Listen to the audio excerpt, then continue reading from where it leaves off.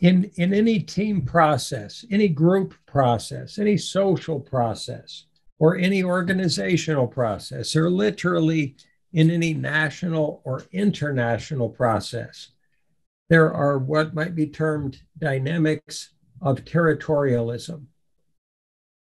This is mine and that's yours. This is who I am, that's who you are. This is my role, that's your role. This is my job, that's your job.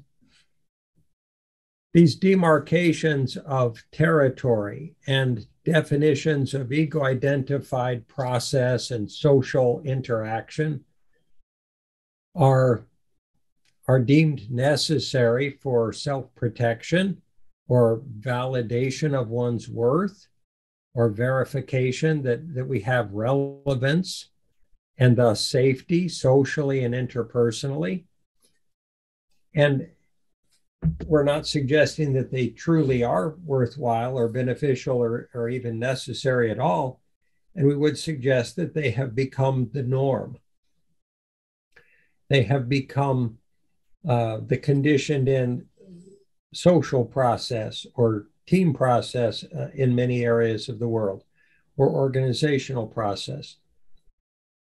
So, whether that is uh, having access to information or control over information, uh, or a documentation of any kind, or whether it's a process of having decision making influence, uh, whether it's uh, based on our definitions of goals and values. If I do this, it means I'm important and I'm good. If I don't do this, I'm unimportant and bad or not relevant. Whether it is being uh, a holder of knowledge or authority or control or management of any resource in the world of any kind, it, it ties into this territorialism dynamic. Who has the power? Who has the authority? Who has the relevance? Who has the position? Who's got the status or the hierarchy? And, and is it me, the ego me, that does or does not?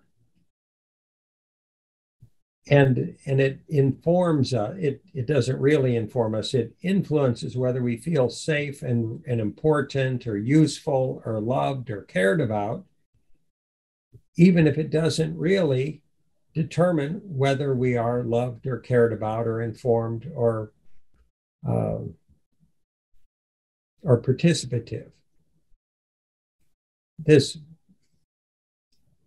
this mapping of social territory and relational territory that then becomes a process of defending territory or trying to control territory or to get more territory to own or control or benefit from is is so deeply ingrained in our world it's so much a part of day-to-day life and decision making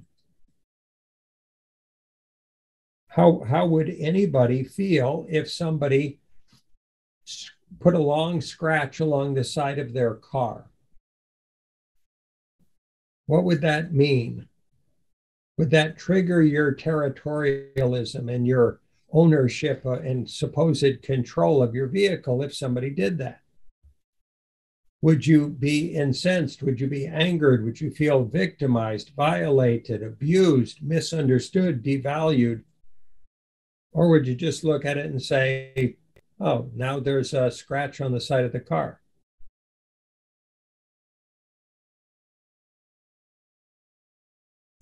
These, these dynamics of territorialism are part of the process of conscious collaboration. If any part of our systems wants to hold sway over or define or control or make be the decision maker, the single decision maker, or the uh, most authoritative or most powerful decision maker for egoic purpose or for safety or for self validation or for social validation or for recognition or remuneration, is that supportive of optimized conscious collaboration?